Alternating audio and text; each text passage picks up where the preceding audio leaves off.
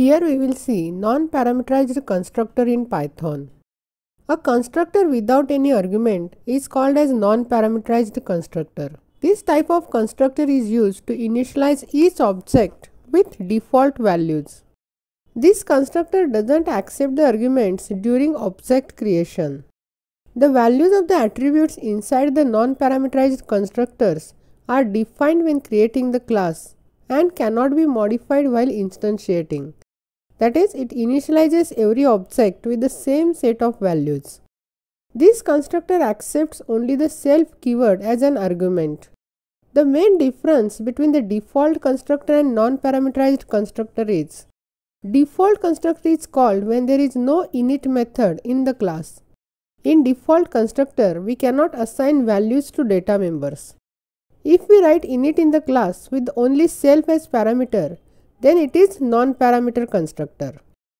General syntax for defining non-parameterized constructor is class, class name, then def with init method and parameter self and statement of block. For example, here class demo is defined with non-parameterized constructor and it will print non-parameterized constructor. When we create the object of the demo, it will give the output non-parameterized constructor. Here we will write a program to explain non-parameterized constructor. For this we will open the IDLE.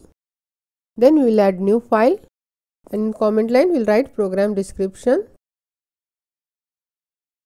Here we will define class demo and we will define non-parameterized constructor as def then init with self and here we will print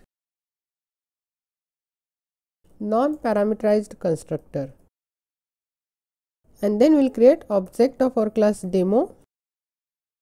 And we will save it as demo class 2 and we will execute it. It will print non-parameterized constructor. Here when we create object of the class the constructor is executed and it will print the message non-parameterized constructor